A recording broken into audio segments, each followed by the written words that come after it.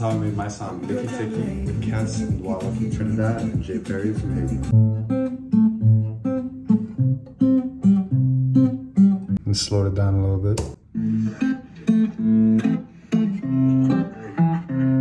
For percussion, we got a bottle of Haitian rum and a spoon.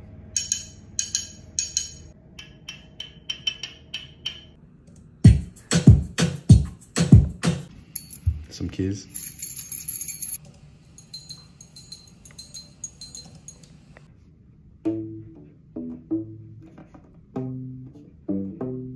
Chopped it and pitched it.